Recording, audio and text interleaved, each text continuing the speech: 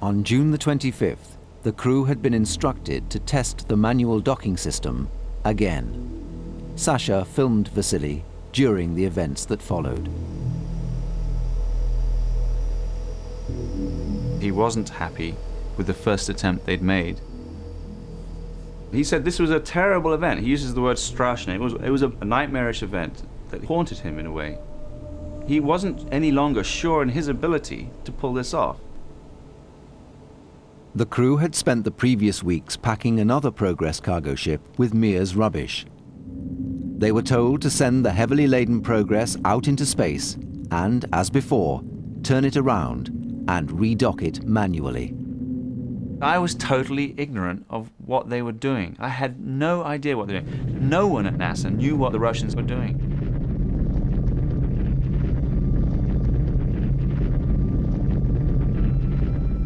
Once again, Vasily only had the monitor as his guide.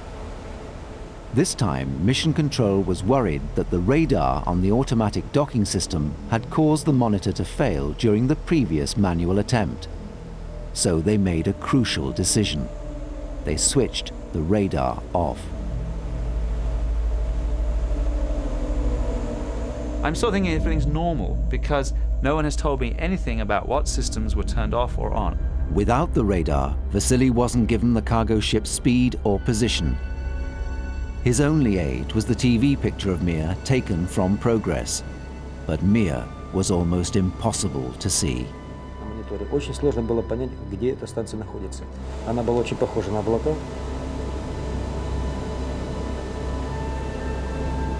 Sasha and I, meanwhile, tried to look out a window and find this thing. They planned to pinpoint the cargo ship with laser rangefinders pointed out of the portholes to give Vasily backup distance and speed information. Vasily now was showing a little impatience for us to find it and see it and give him a range mark. Sasha had left his camera pointed at the TORU monitor. This recording from his camera has just been released to Horizon. Things had gone wrong, very badly wrong. The range and the speed had been horribly misjudged.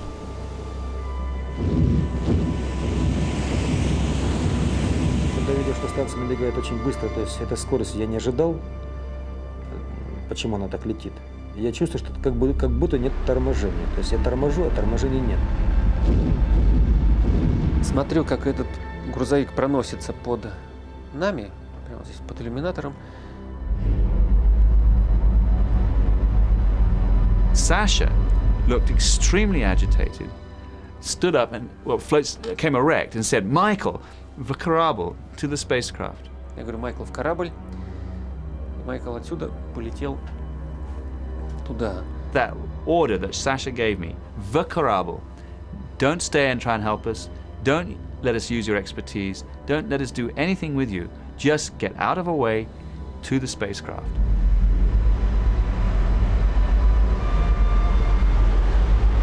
Хватило тормозного пути, не хватило времени для того, чтобы этот грузовик увезти от станции.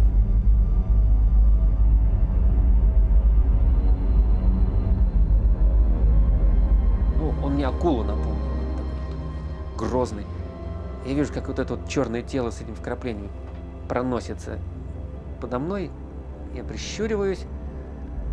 И в это время, значит, мощный такой удар потрясает станцию.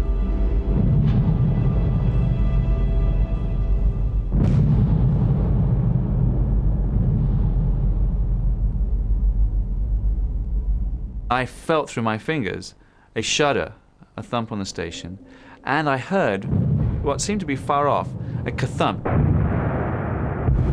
At that point, I knew we had been hit by the Progress.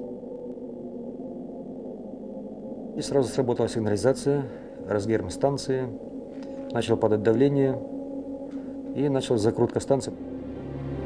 The Progress had smashed into the solar panels.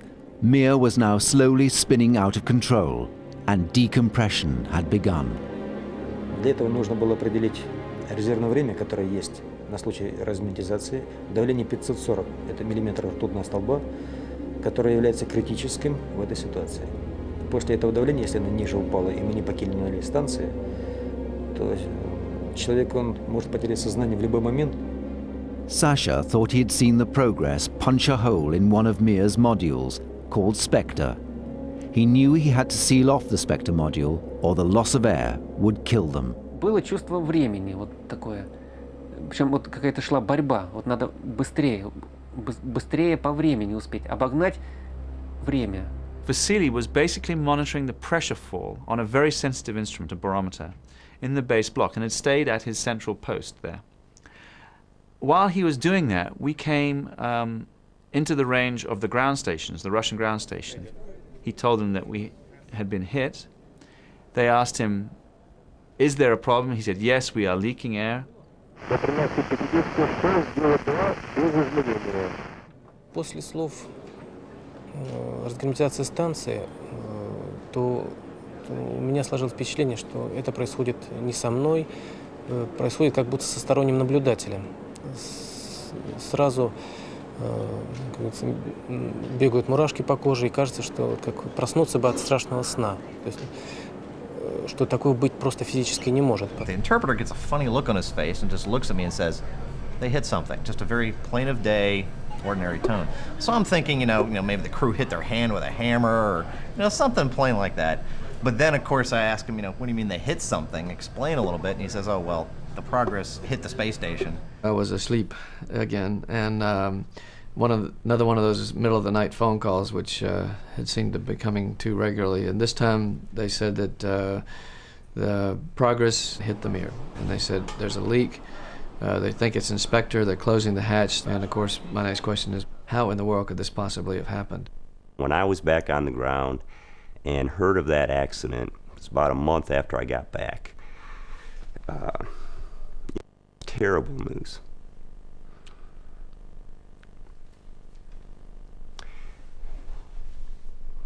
Я помню, как притихли дети сразу. Может быть, они не столько понимали опасность того, что случилось. Может быть, моя реакция как-то вот повлияла на них. Но они были совершенно тихие и как мышки. On Mir, Michael and Sasha had to close the hatch between the main module and Spektr to stop the decompression. To do this, they were forced to disconnect the power cables running through the hatchway.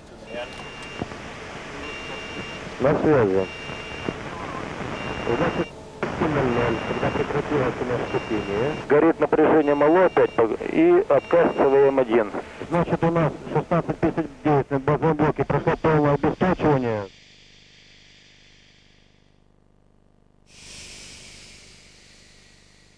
For the first time, I experienced a totally silent, still space station where there are no fans moving, there is no light on, nothing is alive.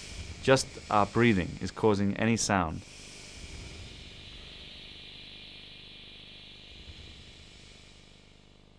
With Mir out of control, they couldn't keep the solar panels facing the sun. Everything had shut down, even radio contact with Earth.